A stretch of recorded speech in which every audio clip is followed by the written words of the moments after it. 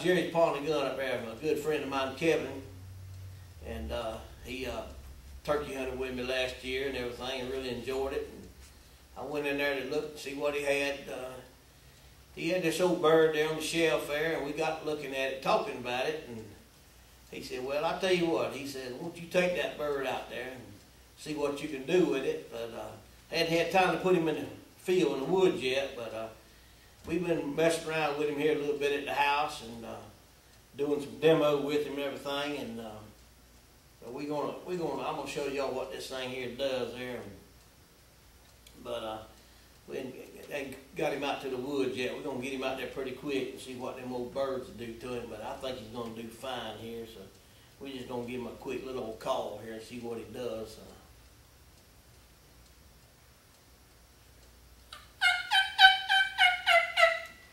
Oh, son, look at that. Boy, ain't that pretty? I think that dude right there is gonna bring him in. All remote control.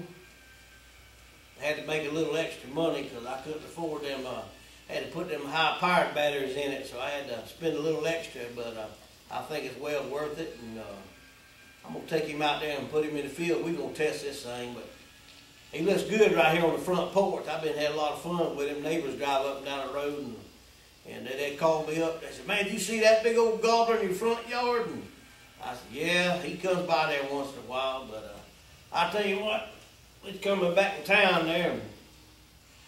Let's shut this old boy off here. I'll wait for another car to come by. They'll call me after a while. So we're coming back in town there on the old dirt road down there, and I was riding along there in the old turnip truck. And, I looked over in the ditch bottom. I seen this big old glass bowl. Didn't know what it was. It looked like it's a light shade. We don't know what it was. Ain't nobody know. It might have fell out of might have fell out of outer space. We don't know where that thing come from. Ain't got no markings on it. And it was like a big old lampshade. Could be a salad bowl. We don't know. But I got the monkey with it. And I put it up in the old turnip truck and it kind of hit the old spare tire. And you hear that ring right there? That thing made a little sound. I said, man, that's pretty neat there.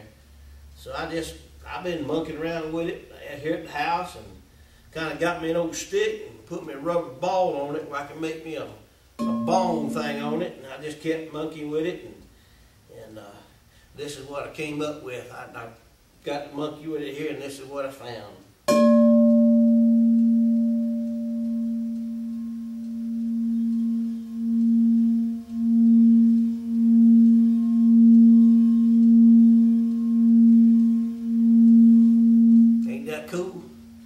Louder and louder.